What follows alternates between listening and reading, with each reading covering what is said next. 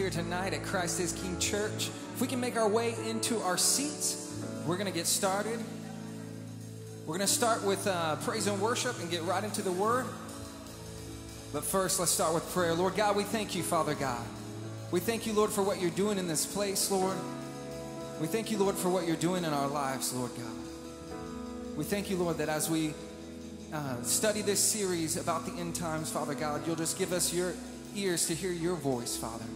We praise you and we give you all the glory. And in Jesus' name we pray. Amen. Amen.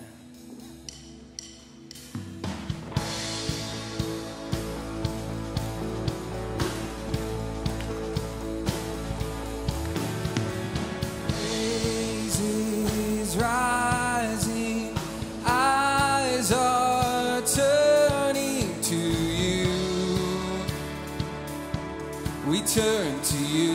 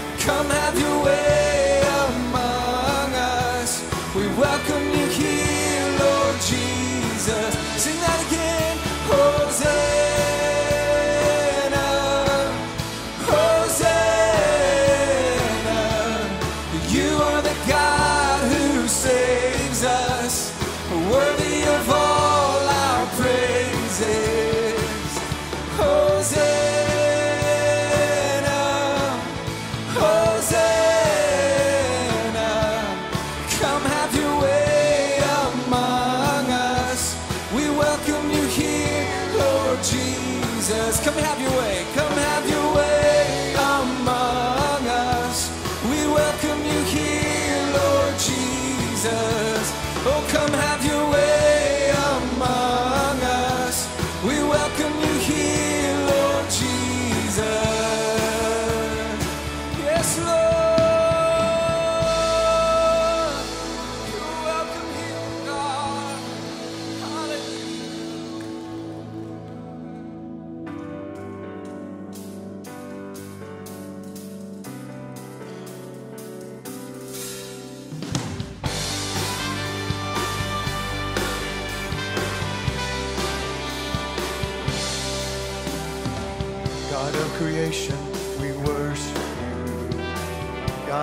We honor you. We bring sacrifices of praise to you. For you are the Lord of all. Yes, you are. You are the Lord of all. How great you are. God above the heavens and Lord of all the earth. How great you are. Mighty God of healing salvation strength.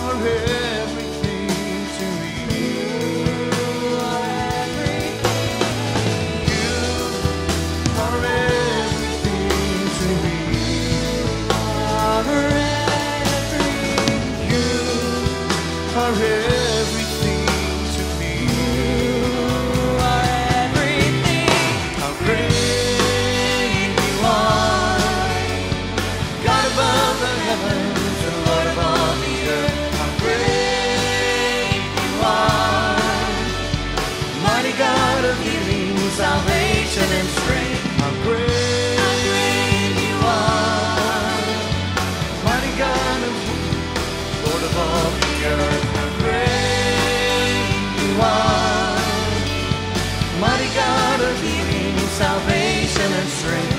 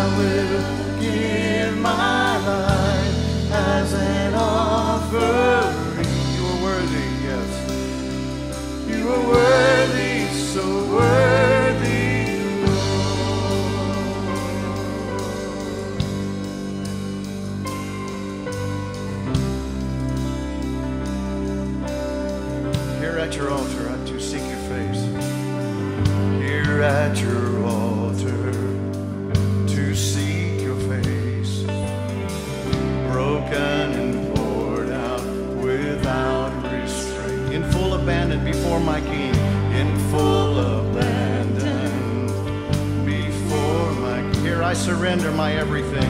Here I surrender my everything. I will lay my crowns down and I will.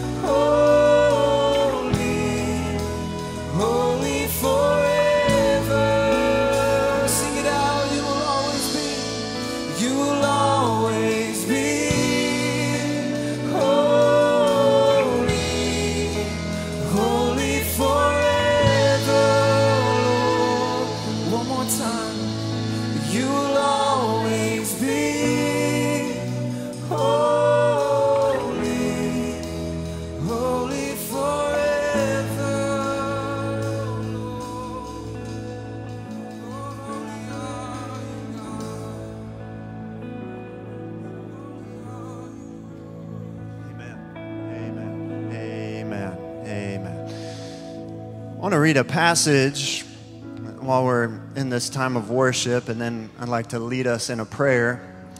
Isaiah chapter 6. This is a passage many of us are familiar with. Isaiah has a vision of the holiness of God. Isaiah 6, verse 1, it says, In the year that King Uzziah died, I saw the Lord sitting upon a throne, high and lifted up, and the train of his robe filled the temple. Above him stood the seraphim. Each had six wings. With two he covered his face, with two he covered his feet, and with two he flew. And one called to another and said, Holy, holy, holy is the Lord of hosts. The whole earth is full of his glory.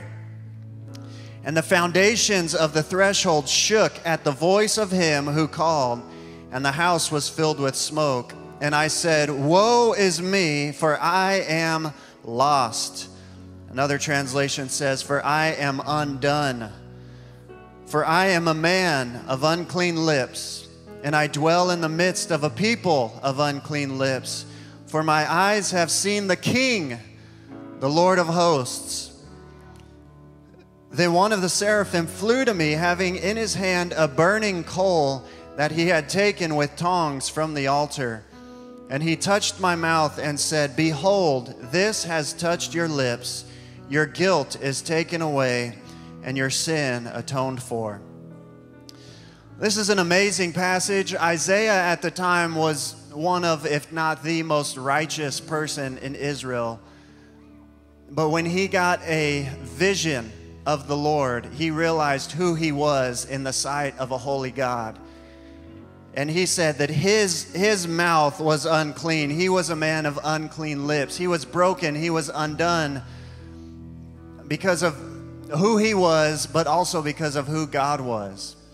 In this moment, he, he recognized, like he says later in this book, that his righteousness was as filthy rags, and it brought him to utter repentance. And what's amazing here is the seraphim don't leave him in this spot of brokenness. They don't say, "Yeah, that's right. You you you're nothing in the sight of God. There's no hope for you. Be gone." No, the, the seraphim comes down and they cleanse his lips, and it says that his guilt is taken away and your sin atoned for. And I know that's all of us tonight. I know that we have all experienced that. We've called on the name of, of Christ and He has saved us. But I want to pray tonight that that wouldn't be, and hopefully it hasn't been, a one time thing for us, but that we would have a continued revelation of the holiness of God and a continued brokenness over our sin, and then also experience that continued healing that Christ offers us through his blood. So if you could just join together with me as I pray this. And as I'm praying too, if, if the Lord puts someone on your heart that you know they have yet to be in this state that Isaiah was in of brokenness before God, go ahead and lift them up in faith as well, trusting that the Spirit would open their eyes and bring, this to the, bring them to this place of repentance. Father, we thank you that you are a holy God. Lord, you were holy thousands of years ago when Isaiah had this vision. You were holy eons before that in all eternity. God, you are holy now, and you will be holy forever. Father, I thank you that even in your holiness, you reached down in love and sent Christ to die for us, to, to reconcile us back to you because you are a holy God, but you're also a loving God. You're a merciful God. You're a gracious God. Father, I pray that we would never lose sight of your holiness. Lord, that we would, like Isaiah, be broken over our sin. Not just the first time when we asked you into our heart or when we repented of the first time, the first time, Lord, but that we would daily be broken over our sin, but in that brokenness, realize the sweetness of your forgiveness, the sweetness of your Son, the beauty of the cross, the beauty of what Christ did for us, and that we would experience healing. Like Paul says, there's now no condemnation for those who are in Christ. Yes, we are broken over our sin, but we also rejoice of what Christ has done for us, that we don't have to be living a life of shame and misery, but that we can cling to the cross. Lord, as you, you touch our lips, you touch our bodies, you touch our mind, you touch our hearts, you touch our thoughts, that we would have pure thoughts towards you, God. Lord, for those that we know who are lost, Lord, who have yet to be undone, who have yet to be broken, Father, that by your Holy Spirit you would work in their hearts. Lord, that you would give eyes to the blind, that you would open their hearts to receive from you, to, to get a taste of your holiness, and to get a taste of redemption that comes with, this, with the broken and contrite heart. We thank you for this, Lord. Thank you for meeting us here tonight. Thank you that your presence with us with us. Thank you that we get to meet with Christ tonight. We thank you for this. In Jesus' name, amen. Amen. Well, um, you can go ahead and greet a few people and then we will get to the word shortly. Thank you for worshiping with us this evening.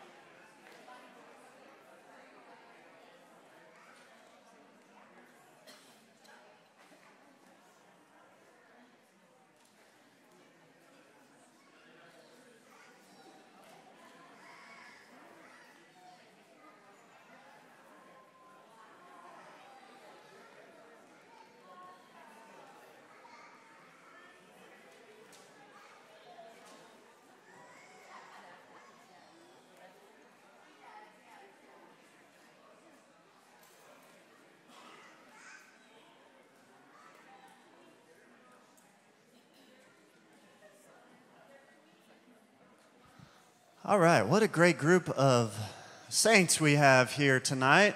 Uh, before we get to the word, I do want to share just a couple of announcements. And the first is if tonight's your first time here with us, thanks for coming to church on Sunday night and being with us.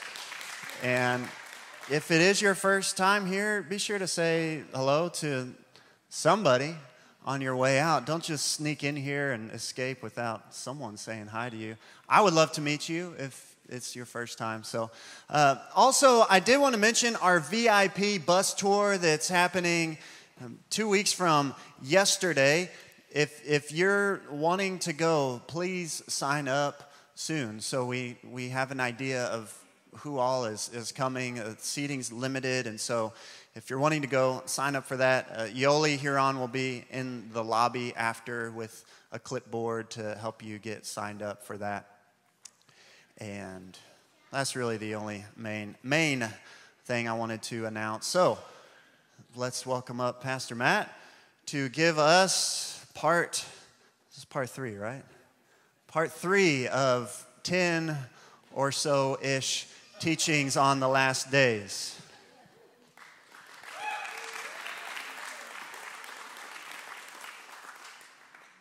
Uh, definitely are, am going to shoot to keep this to 10, and uh, that's, that's the goal. Um, this afternoon, around um, 5 ish, when I was printing off my notes for tonight, and the printer spit out nine pages, I've, I started to question my sanity and wondering if I've, what, what I've gotten us into uh, by trying to do this series. And, um, but you can't put the toothpaste back in the tooth, back in the tube. So here we go. We're just, we, we're, in, we're in it now. We're going to we're going to keep, keep plugging along here. If this is your first night in this series, um, I'm sorry. But there's been two other weeks where we've laid a, a, a, bit of a foundation that we're going to be building on this evening. Uh, let me give you just a bit of a, a, quick recap. We are going to be in Matthew 24 again, so if you have your Bibles, go to Matthew 24. I want to say that next week we are going to be uh, taking a break from the series. It's going to be Easter Sunday. We're going to be celebrating baptism on Sunday evening. It's going to be a wonderful time of baptism. So we're going to take a break from the series for next Sunday. And then the following Sunday, we're getting into the book of Revelation. We'll, we'll be going to Revelation. Everyone goes, ooh, ah. okay. So Revelation will not be not next Sunday, but the following Sunday. So we're studying eschatology. What is eschatology? It's the study of the last things. And it's from this Greek word eschatos and logos, the, the study of the last things, the things at the end and we're calling our series The Last Days. Now, I, I, I do want to say last week, um, last week, I'm endeavoring for this to be a teaching series. So I'm endeavoring to teach and not preach, but I'm a preacher. And so it's hard for me to not preach. I'm trying to teach, but sometimes I just get fired up. I get fired up all the time. And so, um, but please, please don't mistake if, if I happen to stumble and begin to preach, please don't mistake my exuberant tone for um, thinking, thinking that I don't see merit in the other views of eschatology. Um, I have a high and great deal of respect for, for people who hold to different views than me, a very high view. And I quote them often, even in my sermons. And so, this eschatology is not something that we divide over. It, it should not be. And it should be something that uh, we study, that enriches our Christian walk in life, but that doesn't bring division to our church. And I don't believe that it's going to bring division here as well. I also want to say that it's taken me nearly, it, it was nearly 25 years ago that I went to my my Bible school class on Bible prophecy and was introduced to these other views of eschatology. Growing up, I, I predominantly only heard one view, that premillennial dispensational view. And then I got to Bible school and I learned there was other views, and that was nearly 25 years ago at this point. And so I'm not anticipating you in 10 weeks to digest what I've studied in 25 years. That's not what I'm expecting. Uh, but I do think that for some of you, this is going to be something that piques your interest and that you will devote personal study time to. And I believe it'll enrich your walk with the Lord as you endeavor to do that. But even with that, I know that there's going to be many of you who do not end up seeing things the way that I have come to see them. And that is okay. That is okay. I've had a few people, you know, asking me if I don't if I don't end up seeing things the way you do, is there still a place for me at this church? And yes, absolutely. Because you're in good, you'll be in good company. In fact, you'll be where I was a few years ago. So, yes, there's going to be a place for you in this church. And I'm, I'm, I'm not trying to move everybody uh, to my position, but I am trying to broaden our understanding of these different views. And so, again, I hold great respect. Charles Spurgeon, somebody I quote often in my sermons, he was pre millennial. He had a view of the millennium that is different than mine. I still hold him up. If, if I could be one tenth of the preacher that Charles Spurgeon was, I would die a happy man. So I, I have great respect for people who hold other views, and I just want to underscore that at the beginning tonight in case I slip and fall and start preaching uh, when we get into the Bible. Uh, so, and but but here's the thing: I can I can respect someone and their views, and I can respect why they would hold those views, but I can still disagree with them. Right? I can understand why someone would hold to that as like this afternoon I was reading Charles Spurgeon's commentary on Matthew 24 and I was seeing his perspective and I can understand why he why he lands where he lands even though I don't see that view that way. Even though I would reject that view, it doesn't lower him in my view at all. It doesn't lower my estimation or respect for him. And this is a little bit of a, an issue with the day and age in which we live. Because we live in a culture that says, unless you accept everything about me, then you are rejecting me. And as Christians, we know that's not the way things are. We know that there are certain things that we would accept about some people and certain things that we would not. As Christians, we're more mature than that. As Christians, we know that to disagree with somebody on some point is not rejecting them as a person. And so this calls on us to be mature in our thinking. And again, this underscores a little bit why most pastors won't even touch this subject because they don't want to bring division and, and they don't want people to start arguing about this stuff, and it's easier for them just not to deal with it at all. And I know that as we move through this, it's going to be stretching us a little bit, but I believe that we are a mature congregation that will be enriched by studying eschatology and not be divided by it. And so this is simply something we're not going to divide over. Because in the scripture, we're not called to unite around our eschatology views. We're called to unite around Christ and the gospel. That's, that's what unites us. And so, if we're looking to build unity around secondary things, oftentimes we're not going to share unity at all. In fact, we will end up being divided. We need to keep the main thing the main thing. And I hope that we're able to do that. And I do want to say, we are actually all united on the big picture of eschatology. We're all united on this. And I shared it with you last week. Jesus wins. Amen? Anybody here disagree with that tonight? Jesus wins. All Christians for all time have believed this. And this is what we believe. This is what we are united on. This is the gospel. Jesus wins. We are all united on the big. Here, I'm preaching again. We're all united on the big. I need to take like Benadryl or dope, uh, what Dramamine or something to, to be able to teach. But we're all united on the big picture of eschatology. And you say, what's the official position of, of Christ is King Church on eschatology? This is it. Jesus wins. This is it. Christ is King. Jesus wins. And hear this we are all on the same train, all of us.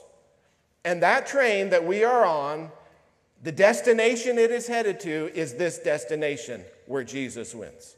We're all headed in that direction. We are all on the same train. What we might have different views on is the scenery we think we're going to experience on the way to this destination. We might think we'll see a few different things in, on the scenic route along that way, but we are all on the same train. We are all unified on this, and we are all headed to the same destination. Amen. That's because we share these constants in uh, common. And I've shared these before, but we, these are the constants of eschatology. Christ is coming a second time to this earth, physically, visibly. That when he comes, there's going to be judgments on nations and peoples and, and believers and unbelievers. That there's two destinations for every human soul heaven or hell. That, that, that where we end up is not based on our own good works and merit, but on the gospel of Jesus Christ.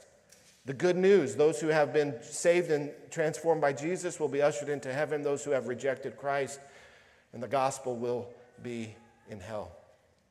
Everyone will be resurrected, not just the righteous, but also the unrighteous, some to eternal life, others to damnation. Christ is the ultimate judge of all. There will be a new or renewed heavens and earth.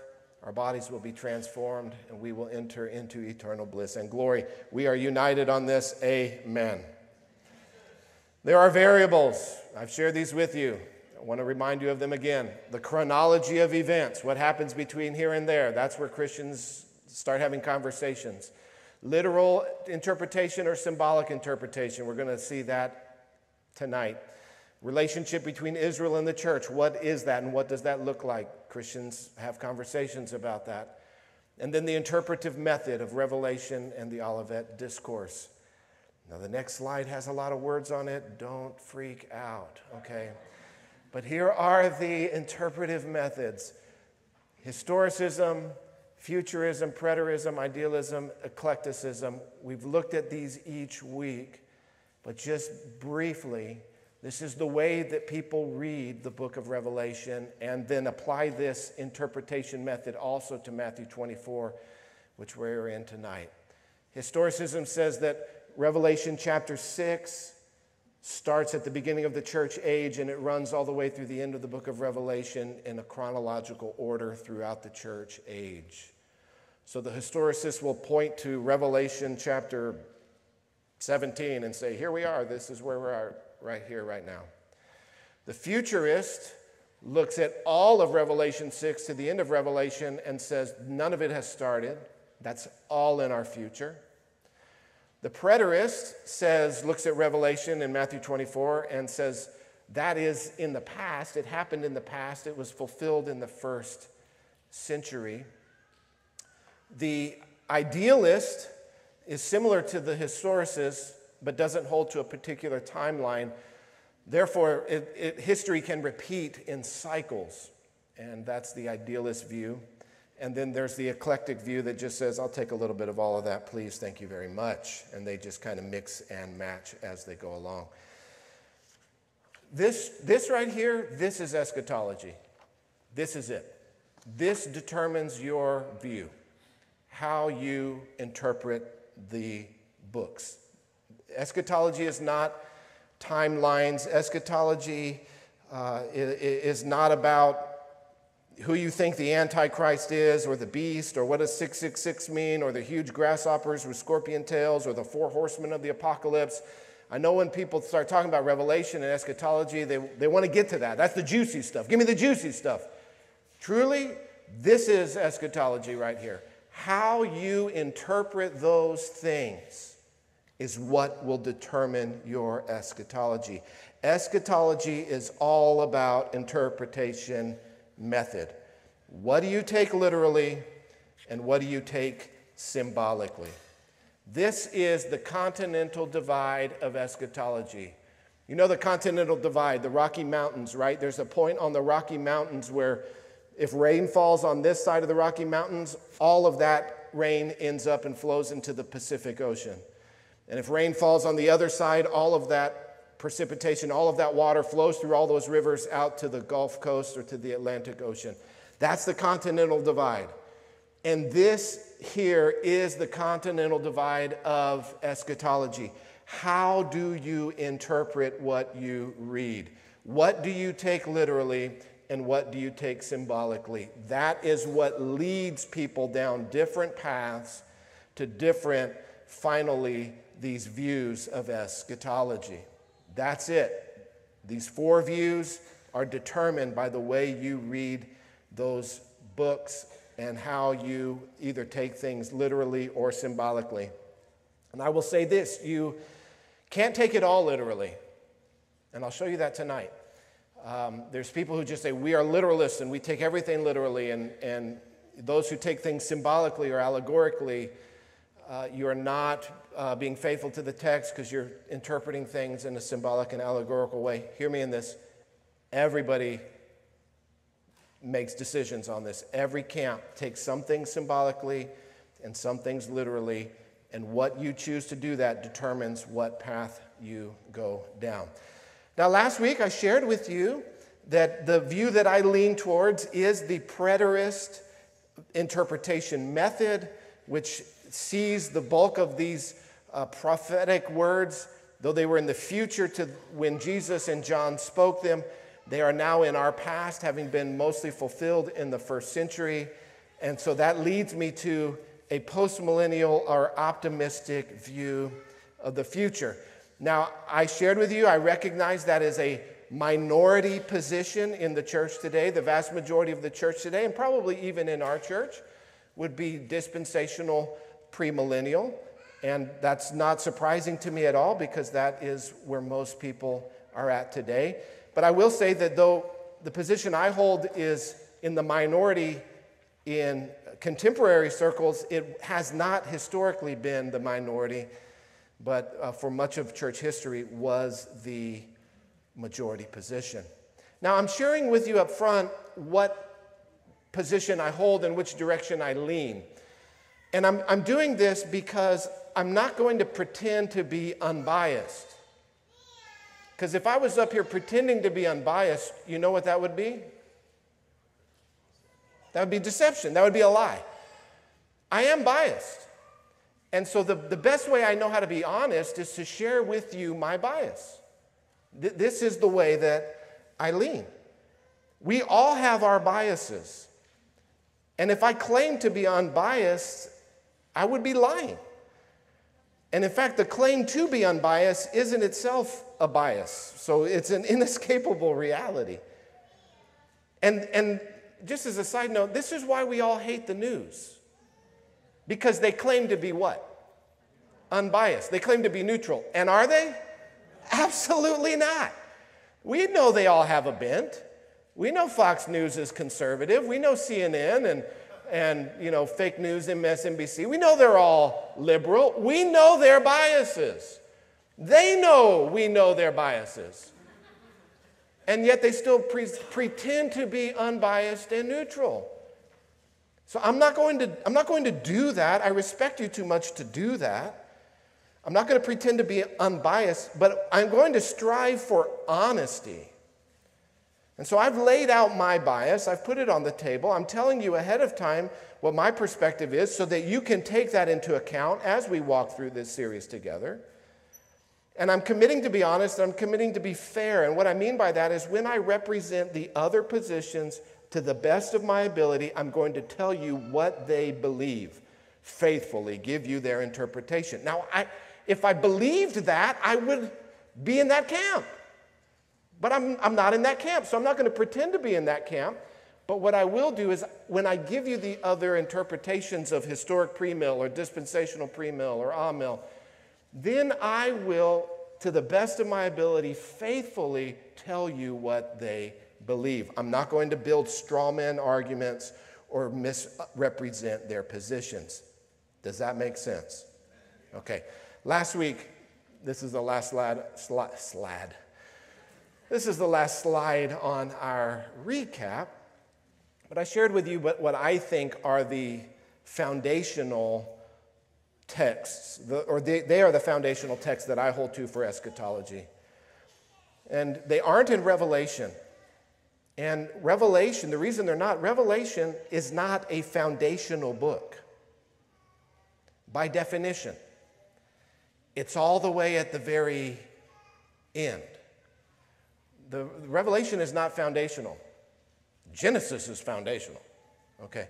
Revelation builds on everything that comes before it. It's the very last of the book to be written. It draws on so much stuff from, from the, the whole rest of the Bible that, that preceded it, especially the, the prophetic writings of the apocalyptic literature of the Old Testament. And so, again, the foundational texts that I hold to that, that lead me to, to have an optimistic view of the future is simply Jesus' words here, where he says, He will build his church and the gates of hell will not prevail against it, and that the mission of the church is to go and get the nations for Christ. And so that, that to me is enough, these clear words of Jesus, to, to hope for and to look for the Great Commission to be fulfilled in a very real, tangible, and dramatic way. Because I believe that God is sovereign. And I think we would all agree on that as well. We, we, we teach that here at the church the, the sovereignty of God, that, that He rules and reigns over all things, and that what God wants to happen happens. So we can all agree that, that no matter what position we hold to, in the end of the day, it, it really matters what position He holds to. Because that's the one that's going to end up coming to pass. And we all agree on that, and a hearty amen to that. God is in control, God is in charge. Not the devil, not the Antichrist. God is the one who is sovereign. Now, now you need to know, not all Christians believe this. I got into a wonderful conversation with another pastor recently about this. And we um, still love each other, but uh, it was a, uh, let's just say it was frothy. It, it got animated. It, we, we, we, we were working through what, what do you mean? What do you mean? What do you mean? And, and so, not all Christians believe in the sovereignty of God. Many Christians believe that God has made man sovereign. and that it is the free will of man that's going to determine the future, not the sovereign will of God. I, know that sounds shocking because, of, because we all heartily amen, yes, that God is sovereign. And so we can agree, though, I believe we all agree that what God wants to have happen is going to happen. And, and as I've just poured myself into Scripture, I've, I've come away with the belief that what God wants to have happen is for the nations to be converted and for the nations to be discipled and for the gospel to, to go out and to penetrate every area of life. That's what I've, I've taken away to believe that God is what God wants to happen.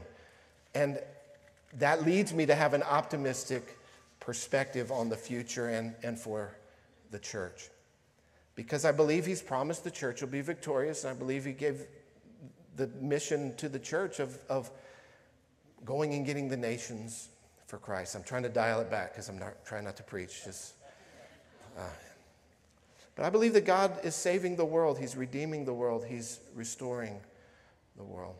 And so last week we got into Matthew chapter 24. I invite you to uh, open with me now and go there because I think many of you would say, okay, yeah, I, I, see how I see how you could think that these verses say that the church will be victorious and the nations will be discipled and the gospel will cover the earth. I, I see how you could get that from these verses, but Pastor, doesn't Matthew 24, doesn't the book of Revelation talk about things getting worse and worse? And what about the Great Tribulation? Isn't that in the future? How can we be hopeful for the future when the apostles and Jesus all warn that the future is not going to be bright but bleak?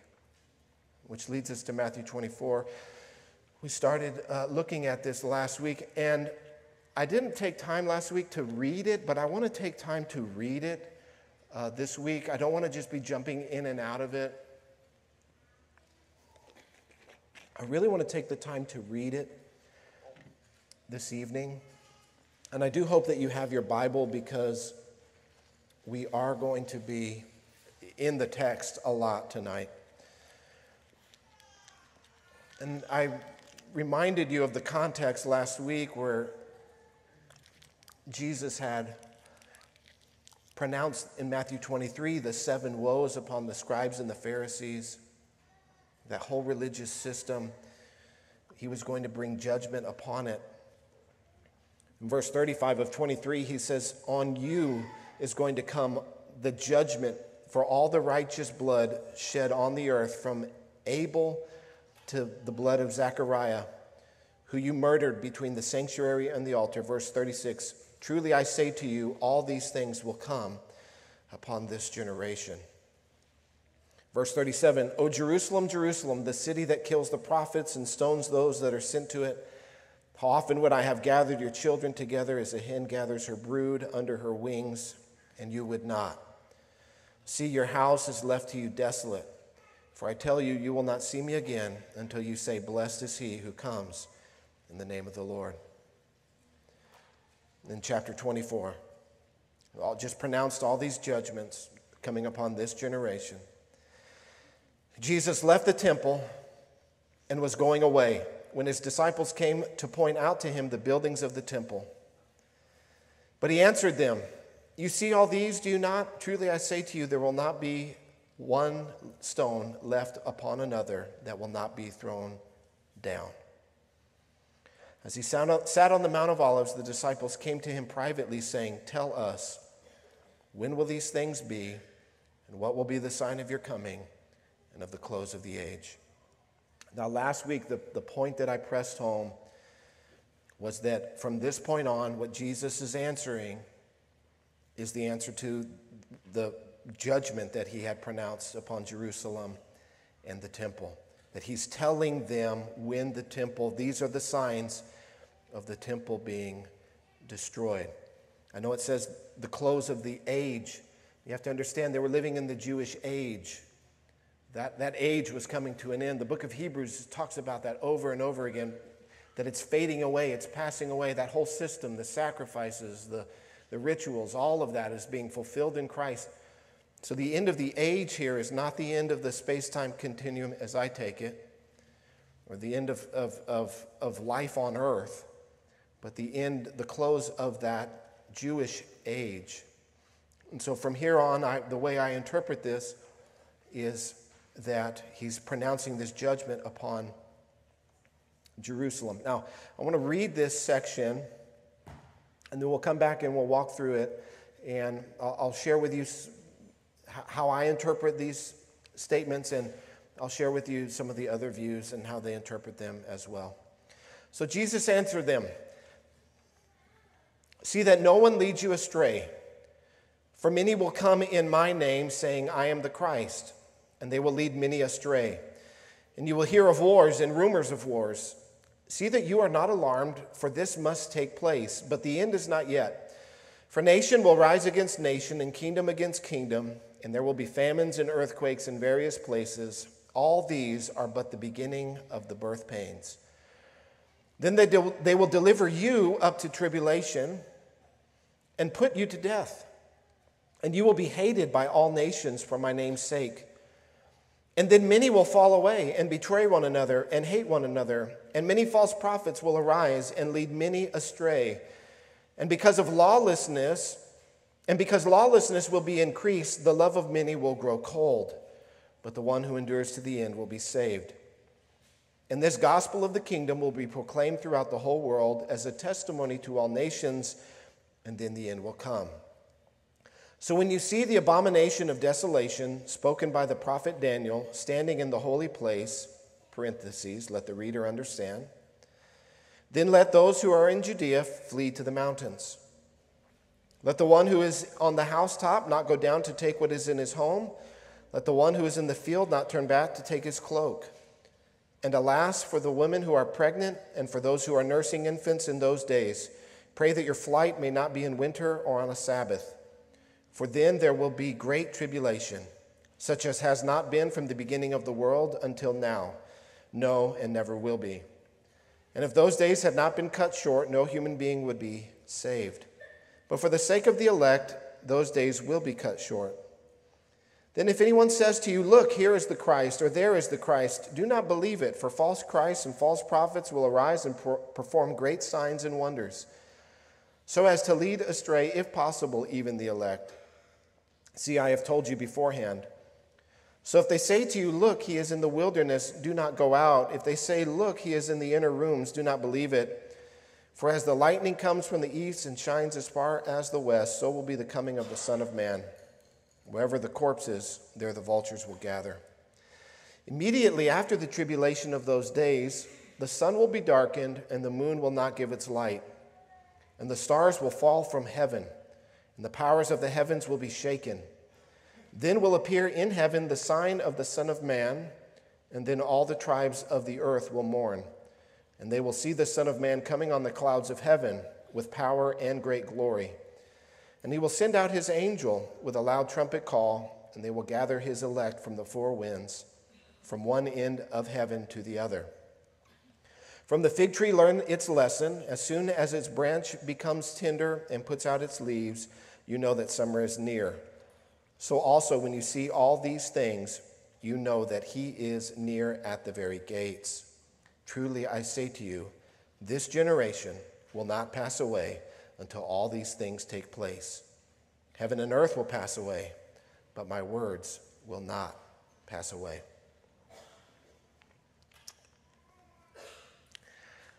So, one interpretation of the passage I just read you, this is the one that Charles Spurgeon held to, was that in answering this question, Jesus is weaving in and out of topics. Here, a little bit, he's talking about the destruction of Jerusalem. Here he's talking about his future return and second return to the earth. And, and he's interweaving, and, and some things apply to both, and, and some things only apply to one or to the other. And that Jesus is, in answering this question, uh, weaving in and out. And, and it's up to us to put it together. What was he talking about that applied to AD 70 when the temple was destroyed by the Roman army? And what does apply to the second coming of Christ. That was the view that Charles Spurgeon held to. For the dispensational perspective, which is, the, again, the view that is the most popular today, this is an easy passage to explain. Simply, none of this has happened. It's all in the future. That, that truly is the dispensational perspective. This is when we look and we see, we walk outside tomorrow morning, is the sun still shining? Is the moon still there? Have the stars fallen from the sky? Nope, that hasn't happened yet. So none of this has taken place. This is in the future because they hold to a very literal interpretation of the sun stopping to shine, the stars falling from the sky. And so, because of this, uh, this uh, what I consider to be hyperliteralism uh, forces a future view that produces a lot of end times speculation. A lot of speculation about what could be in the future or, or could be coming in the future. And this speculation, uh, and if you're good at marketing, this speculation can turn into a lot of book sales. And so the tribulation sells. You want to start talking about the future and the Great Tribulation, and, and I just saw six signs that tell us we're right on the verge of the Antichrist emerging, and there's these blood moons, and the rapture's happening next year. You start talking like that, you, you could start selling books. There's an insatiable hunger for that kind of stuff, and maybe that's what you thought this series was going to be. Maybe that's why only half of you are left. The rapture all, everyone who believed in the rapture was raptured. And now it's just, um, that was a joke. That was a joke. Golly, man, it's getting hot up here. But it leads to a lot of speculation. Um, famously, there was an author named Edgar Whisenant. I don't know if you've ever heard of him, but he published a book uh, that was published in the late 80s. And the book came out in, at the beginning of 1988, and it was called 88 Reasons why the rapture will happen in 1988. And his book, in one year, sold 4.5 million copies. That's before the internet. One, uh, 4.5 million copies. Now, and, and he famously said, Whisenant famously said, only if the Bible is in error am I wrong. That's quite a statement. Well, I don't know if you remember 1989. That rolled around. And the rapture didn't happen in 1988. And Whisenant published another book 89 Reasons Why the Rapture Will Happen in 89. That one didn't sell quite as well. Nor did his later titles that predicted the rapture in 1993 and again in 1994. You may be familiar with Hal Lindsey. He wrote the book, The Late Great Planet Earth. The, the latest numbers I could find on this, um, again, th- this interprets this text and it applies it in fictional kind of story. But in 1999, that was the latest book sales I could find for numbers on this. Late Great Planet Earth had sold 35 million copies and had been translated into more than 50 languages. Some of you may be familiar with the Left Behind book series. It's a fictional um, telling of the future according to a futurist view of Matthew 24 and Revelation. Close to 80 million copies of the Left Behind series. So, the, the vast majority of the reason why most Christians hold to these views is not because they've sat under a pastor exegeting, uh, bringing out the truth of a text, is because there's been a pop culture phenomenon around the rapture and the mark of the beast and the antichrist, because this stuff sells. It's sensational. Now, remember that I said no view can take everything literally. So, the dispensational futurist view of Matthew 24, they would, they would, they would stand and say, We take this literally. That's why we know it hasn't happened yet. We hold to a literal interpretation. But they don't take everything literally. The one verse they take symbolically is verse 34, where Jesus says, Truly I say to you, this generation will not pass away until all these things take place. They reinterpret this generation to mean that generation. That future generation that starts after the rapture and then the Great Tribulation starts. When Jesus here says this generation, they reinterpret it symbolically to mean that generation. That's what I mean by saying that not every, that, that every view t- has to decide what am I viewing symbolically, what am I taking as normal language. And so, in my, in my view, this completely flips the meaning of the text. It, it really does. H- how you interpret Matthew 24 34, it, it, it, it is that dividing line. It is that continental divide. I, in fact, take the opposite view that when Jesus said this generation, he literally meant the generation that he was living in, the, the people he was talking to, the, the people that would crucify him, and that they would receive the judgment for that sin. It's the other language that I think is more symbolic. But you can't have it both ways. You, you, you have to make a decision. Is it going to be this generation or is it going to be that generation? Now, if I can do it without stepping on too many toes, let me share with you what I think is the compelling evidence that Jesus literally meant his generation. And it's because by the time you get to Matthew 24, Jesus has already used that term seven times, speaking about his generation. So when he comes, when Matthew here is, is writing this down, he's, he's already used this term, speaking of this generation, seven times in Matthew's gospel. And every time we see them in Matthew's gospel, they don't, it, this generation never applies to a future generation. So I want to put these up here quickly. I don't have time to go in and, and look at all of the context of all of them, but I'll put all of them up here on the screen at once. You could pull out that little camera in your pocket and snap it, and you can look at the context of them later. But Jesus, throughout Matthew 24, he's been talking about his generation, this generation. What can I compare this generation to? He calls them an evil and adulterous generation on multiple occasions. He says the queen of the south on the last day will rise up in judgment against this generation and condemn it. Because she was enamored with Solomon. Jesus says something greater than Solomon is here. He calls the generation, again, this evil generation. Again, evil and adulterous generation. Oh, faithless and twisted generation.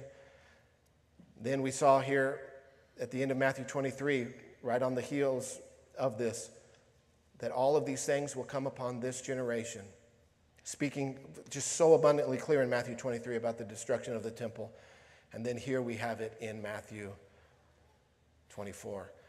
And so, to be, in my, in my view, to be consistent, he's, everywhere Jesus uses this phrase, he is talking about the people who are alive right then and there.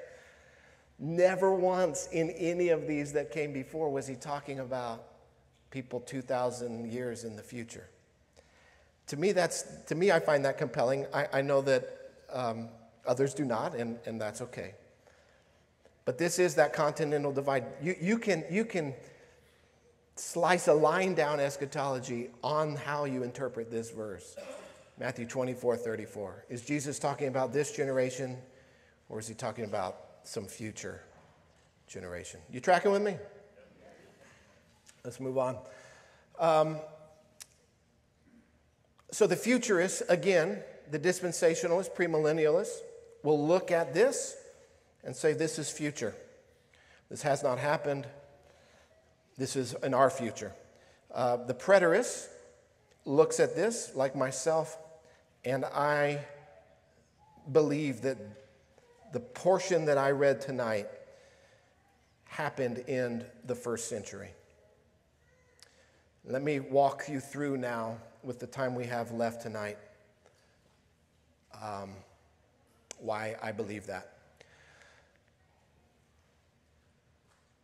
The first one that we might say, okay, well, it says there's going to be false Christs and false prophets that arise. We see that in verse 5 and verse 11. There's going to be false Christs and false prophets.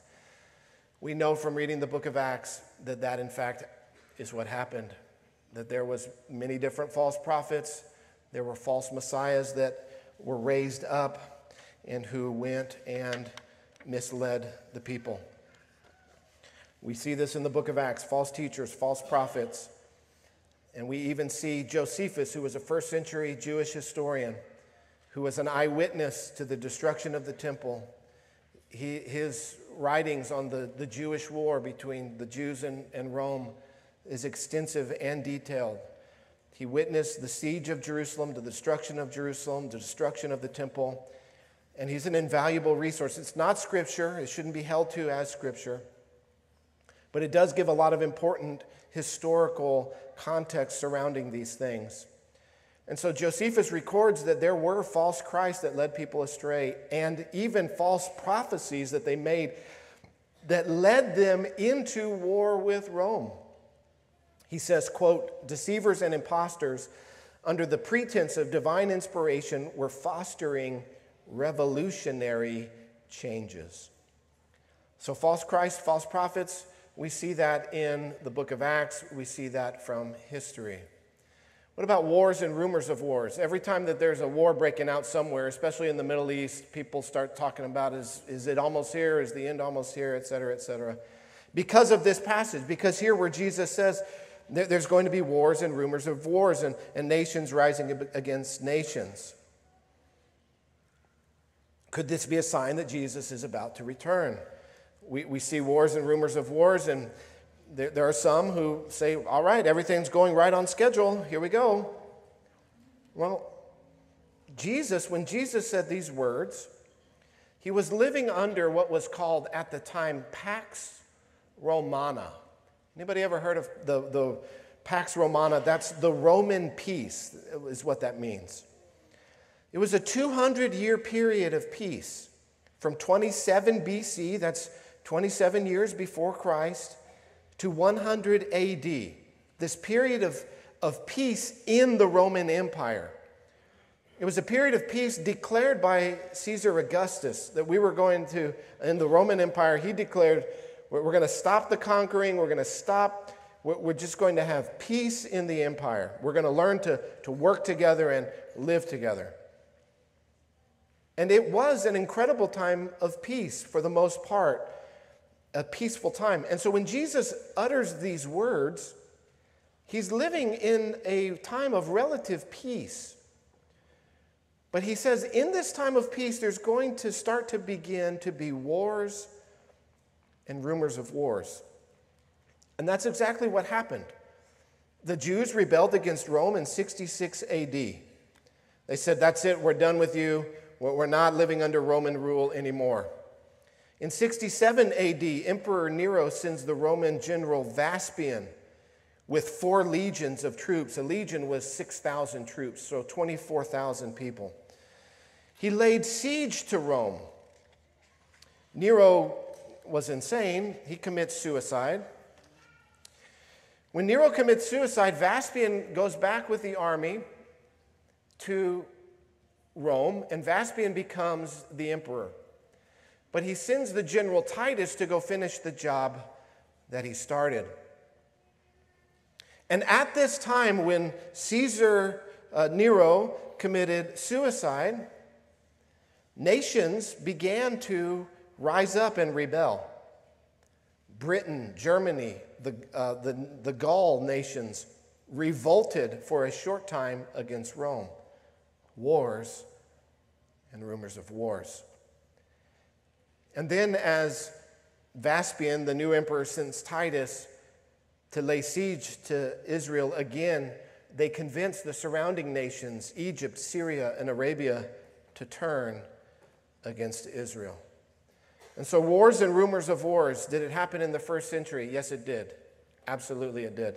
What's, what's interesting is that it was a time, for the most part, of peace, of relative peace in the world because of this Pax Romana. Leads us to famines and earthquakes.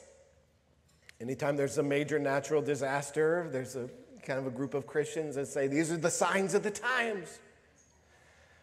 Well, were there famines and earthquakes in the first century? Again, as we read the book of Acts, we read there was a famine that broke out all around Jerusalem. And in fact, a big part of the New Testament is Paul raising relief offerings from the Gentile churches to send aid back to the Jewish church in Jerusalem that's suffering under this famine. Josephus also writes of the great famine in Jerusalem during the Jewish war, in which many inside the city starved to death as they were laid siege and weren't allowed to go in or out. There was also a deadly earthquake that struck Jerusalem in 67 AD. The historian Tacitus writes that during this period of time, around the destruction of the temple, that there were earthquakes in all the known world Crete, Rome, Phrygia, Campania, Laodicea, Laodicea, Pompeii. There was, it was this incredible time of tumult from earthquakes and seismic activity. John Eliot, in his Bible commentary, says this perhaps no period in the world's history has ever been so marked by these convulsions as that which intervenes between the crucifixion and the destruction of Jerusalem. Remember, Jesus says, Not one stone will be left upon another. The disciples say, What, what'll be, what are the signs that we know that this is going to take place? And Jesus begins to give them the signs. There's also persecution in verses 9 and 10. Persecution. Again, read the book of Acts. I mean, the apostles and the early church believers are mercilessly persecuted. But in the book of Acts, it's not by the Romans that are persecuting them yet, although we know the, the church will be persecuted by Rome in the future. It's by the Jewish people that reject Christ. Now, not all the Jews reject Christ. There were many who received Jesus as the Messiah. But literally, almost every page in the book of Acts has the church being persecuted. Now, for these are the ones that really are not very difficult to see from that they, these were fulfilled in the first century. It, it's undisputable. False Christ, false prophets, wars, rumors of wars, nations rising against nations, famines, earthquakes, and persecution. We all see that that happened in history. It's the second half of this passage that gets a little bit more difficult. And this is where we have to really start looking at do we what, what are we going to take literally and what are we going to take symbolically again my principle is that we I, I believe that 34 verse 34 this generation i believe it demands i believe 34 this generation demands we take that literally because he's using just natural language. And some of these others we interpret more symbolically. So the first one here, verse 14, let's look at that. This gospel, Jesus says, this gospel of the kingdom will be proclaimed throughout the whole world as a testimony to all nations, and then the end will come. So here the futurists will say, well, the gospel hasn't been proclaimed to all the nations, it hasn't gone to the whole world. Uh, therefore, the end hasn't come. The end of that, that Jesus was talking about here was not the end of the Jewish age, but Jesus was talking about the end of the world, and that has not yet come, that has not yet been fulfilled. The word that Jesus uses here for world, however, does not have to literally mean the entire planet Earth. And we see examples of this word being used in the book of Acts where they didn't mean the whole impl- entire planet Earth. In fact, when they accused Paul of, of stirring up trouble, they used the same exact word for world, oikoumene, the Greek word. And they say that Paul, throughout the whole world, is the ringleader of the Nazarenes, and he's stirring up trouble in the whole world. Now, they didn't mean that Paul had traveled the seven seas and come to America and stirred up trouble over here. They were using that phrase like we use that phrase. And what we have to understand here is that, that Jesus here begins to use hyperbole. Just as he would say, if your right eye offends you, pluck it out. If your right hand offends you, cut it off. As I look around here tonight, I don't see anybody with an eye patch or a hook. Right? I, we understand language. We understand when somebody is using hyperbolic language. And so here I would argue that when Jesus is talking about the, the world, he's using it the same way that these opponents of Paul were using it, a very common way of using that word in that day. Paul himself even uses that word in Romans 1 8.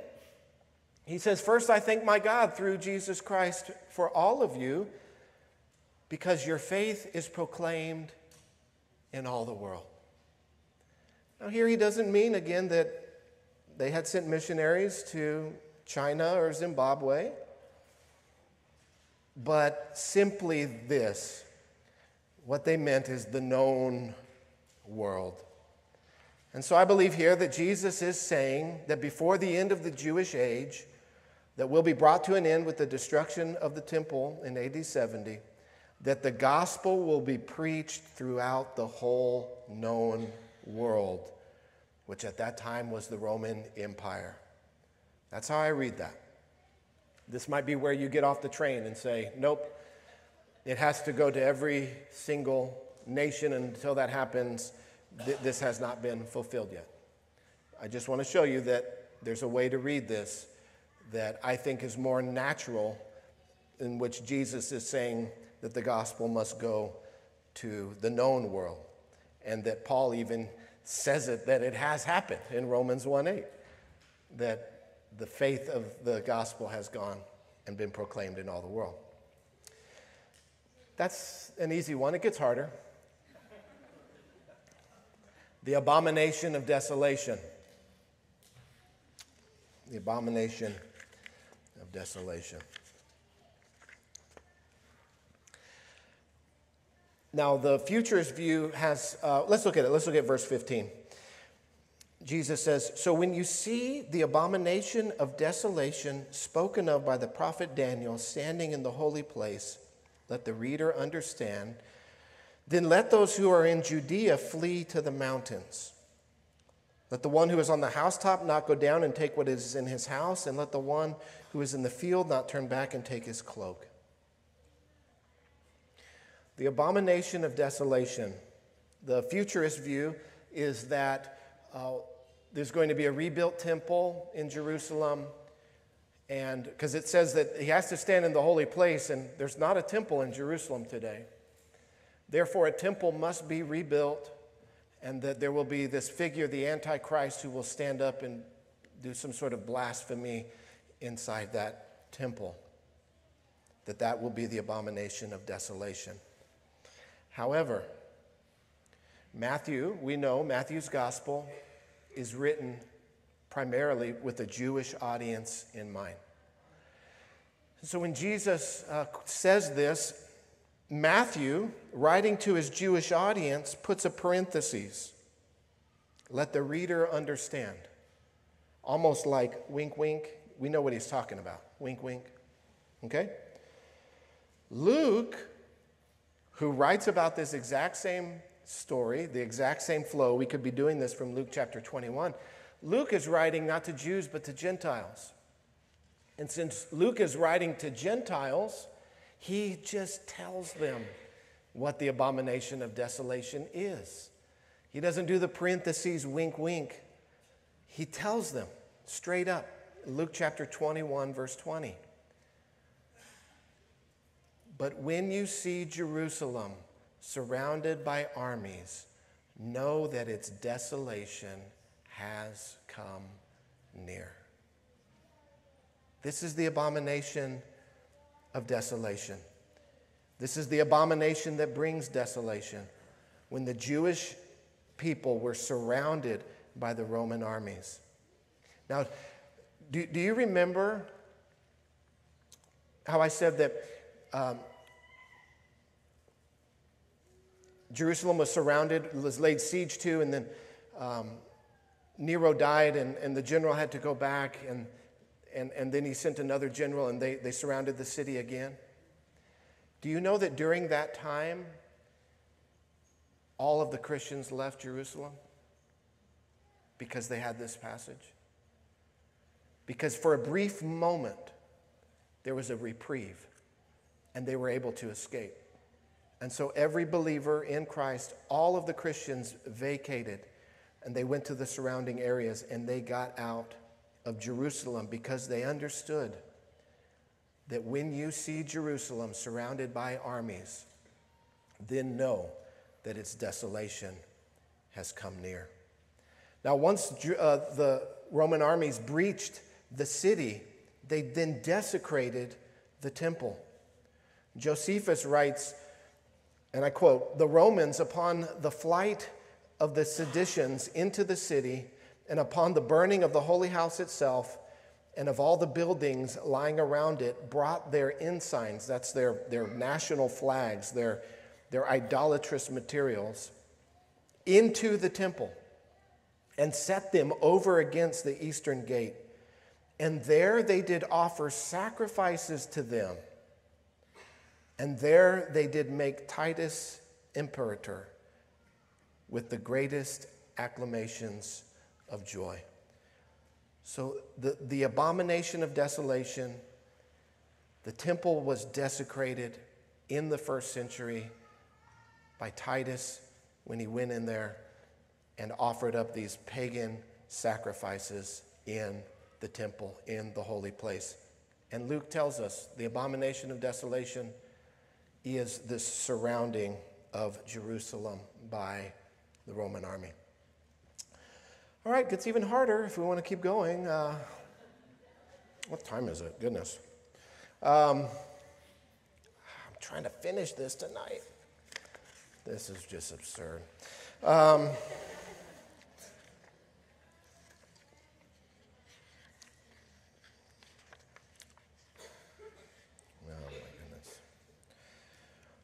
I'll do one more at least. One more. One more. This, this is what you all came for. This is why you're here. Let's be honest. The Great Tribulation. This is what it's all about. This is the moneymaker if you're writing end times books. The Great Tribulation. Verse 21, Jesus says, From then there will be, from then, after the abomination of desolation, right? So let, us okay, let's start with the abomination of desolation, verse 15. Then he says, verse 16, let those who are in Judea flee to the mountaintops. Let those who are on the housetop not go down to take what is in his house. Let the one who is in the field not turn back and take his cloak. But alas, for women who are pregnant and for those who are nursing infants in those days, pray that your flight may not be in winter or on Sabbath. Verse 21 For then there will be great tribulation such as has not been from the beginning of the world until now, no, and never will be. The Great Tribulation. First, I need to show you that the Great Tribulation that Jesus is talking about is a local event. It is a local event. What Jesus is talking about here is not a world wide outpouring of God's wrath. Because if it was a worldwide outpouring of God's wrath, why would it help to be able to run outside the city walls?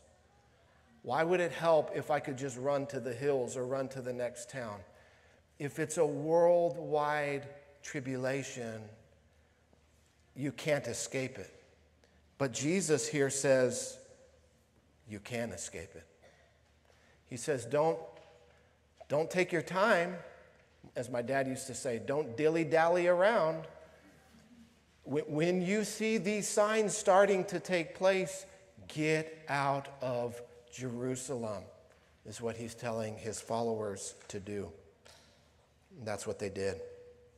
But it's a local tribulation, it is not worldwide. Again, how could fleeing to the mountains of Judea help? If it's a worldwide event. It's local, it's contained to Jerusalem. So he's giving his disciples, again in the first century, warnings that they can act upon. But what about this statement that the Great Tribulation will be such as has not been from the beginning of the world until now, no, and never will be? Is what Jesus say here, does this require this tribulation to be the worst time ever in human history? Well, I would ask, well, what about the flood? What about the flood? Is the Great Tribulation going to be worse than the flood? I mean, only eight people made it out of that.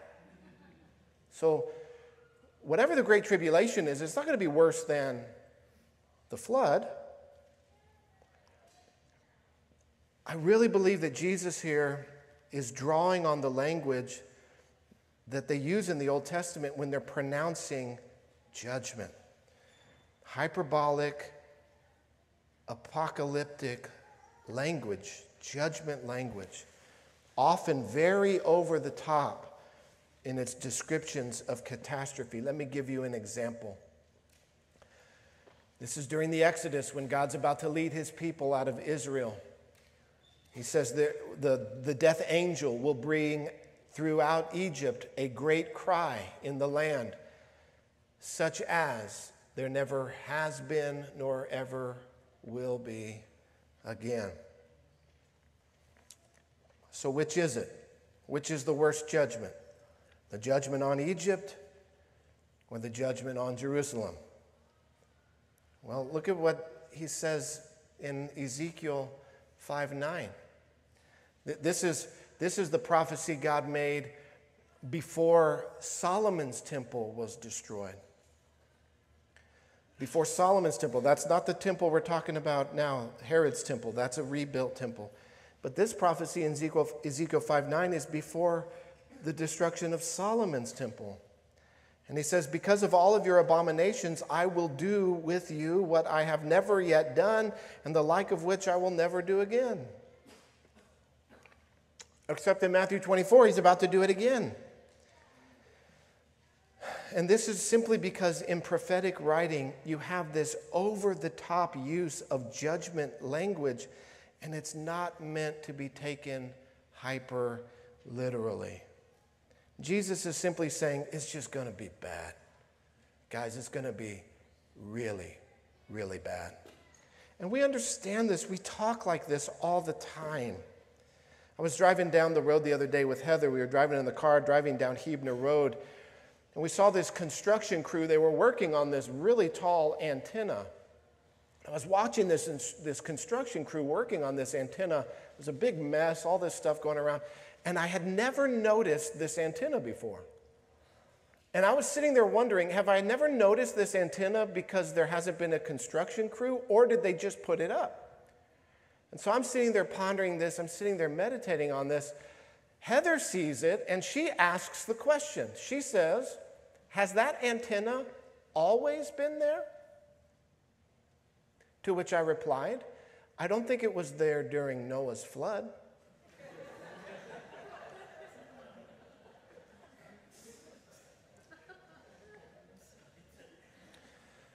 So, and, and of course, she, you know,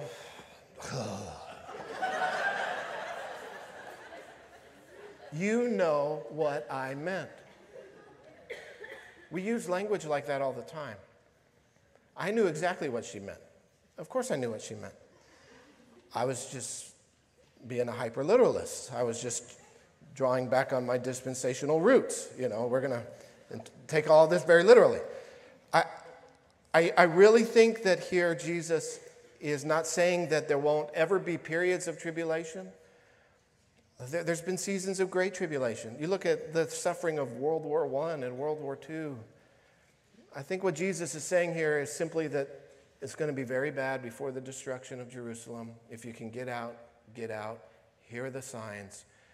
And when you read the historical accounts of what happened during those sieges, it, it was horrific. It truly was a great tribulation. The next two I have are on cosmic collapse, Christ coming on the clouds. I just, I don't, okay. I, I feel like I need to bless you and let you go tonight. Um, the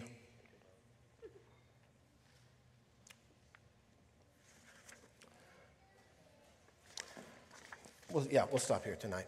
Um, so,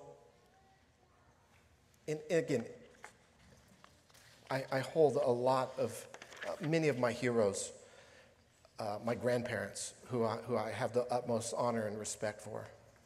Uh, my grandma, Belle, who taught me the Bible, she held to a futurist view of this passage. And in, in no way am I wanting to dishonor her or the legacy of this church or, or anything like that. That's, that's truly not my heart. But I, I do believe we, I, what, what I have come to see is I have been very compelled by the statement, this generation. And it, it's, it's hard for me to now wiggle out of that, having seen how it is used consistently throughout uh, Matthew's gospel. And so uh, for me, at this point in my life, I'm not anticipating or looking forward to a, a great tribulation of seven years.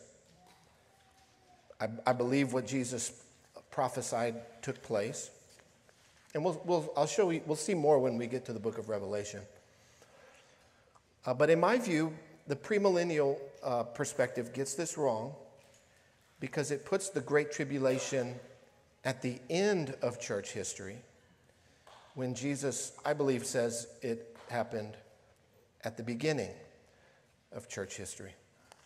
This does not mean that the church will not go through trials. This does not mean that the church will not face tribulation. It does not mean that we might not, it's, it's very possible, I believe, that we could endure persecution in this country. So don't hear me say something I'm not saying. But I am saying that what Jesus was talking about here was fulfilled. I don't believe that Jesus has already returned. I am looking forward, like all of us are, to Jesus' second coming and his return. But I do believe that he did come in judgment. He brought judgment in AD 70 on Jerusalem and on the temple, just as he said that he would in that generation. Now, here tonight, there are three groups of people. And whatever group you're in, I love you. I feel honored to be your pastor. The first group of people, you're, you're praying for my soul right now because you, you wonder if I'm turning into a liberal. And I can assure you that that's not the case. But you, you, have not, you have not found anything that I shared here tonight compelling whatsoever. You think it's the biggest load of hogwash you've ever heard. That's the first group of people. The second group of people here tonight, you're like, that's, that's some interesting things. I've never heard of that before. I've never thought about it that way before. I, I find some of these interpretations compelling. I'm going to continue to, to read, and I have, an, I have a, um, a, a, you've piqued my interest. That's the second group of people. The third group of people are just like, what in the world did you just talk about for the last hour and a half? I have no idea. None of it made sense. That's the most confusing presentation on anything that I've ever sat through. Now, those are the three groups of people. But hear me, though we might be divided in those ways, we're united on one thing, and that is that we're all ready to leave right now. We're all ready for this to be over. And so I have managed to produce unity by teaching on eschatology because we're all ready to get out of here right now. Listen, your view of eschatology it does not in any way affect your calling. We're all called to be salt and we're all called to be light. It may affect your outlook, but it doesn't in the least bit change what we're called to do when we leave this place, when we wake up tomorrow morning. We are all called to spread the gospel of Jesus Christ. And we are united by our faith in Christ and our faith is anchored to the one who governs sovereignly all of human history and will bring it to the predetermined end that he has decided. Amen. Father, I thank you for uh, your word. I thank you for your people who have a desire to know it and to study it. I pray that you would continue to help us as we move forward throughout this series. More than anything, Lord, let our hope and our confidence in you grow and our faith and our love for one another and help us to all be salt and light as we go out from this place today. In Jesus' name, all God's people said, Amen. God bless you.